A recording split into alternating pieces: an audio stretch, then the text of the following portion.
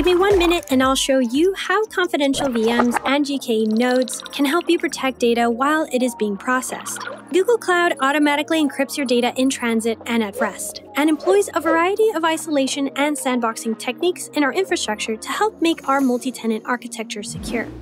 We also offer a service for you to manage your own encryption keys if desired. However, for application developers who want to add another layer of protection for their data, we offer confidential computing. Confidential computing provides virtual machines that encrypt your data in memory and elsewhere outside the central processing unit or CPU, so that you can further isolate your workloads in the cloud.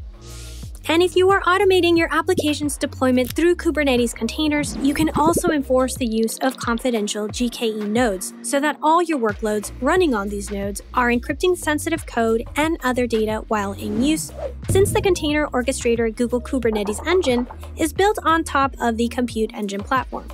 Confidential GKE nodes also leverage shielded GKE nodes to offer protection against rootkit and bootkits, helping to ensure the integrity of the operating system you run on.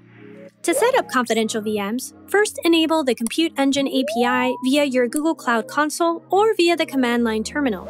Next, from the console, you can create a VM instance and expand the CPU, platform, and GPU section, and then enable the confidential computing service. Once the VM is created, you can click SSH into it and interact with your confidential VM instance. To set up confidential GKE nodes, you enable the Google Kubernetes Engine API. Next, create your VMs and decide what zone and region you would like them in. Then enable the confidential GKE nodes in a new cluster. After you create a confidential GKE cluster, all the nodes and node pools you create will be confidential. Since Google's approach to confidential computing is to make it easy to add protection for existing applications, the GKE workloads that you presently run today can run on confidential GKE nodes without code changes. You can also optionally declaratively express that your workloads must only run on clusters with confidential GKE nodes. Confidential VMs do have their own pricing. If you enable confidential GKE nodes, there is no extra cost. However, there are more logs produced. So, if you want additional protection for your compute workloads, check out confidential VMs and confidential GKE nodes.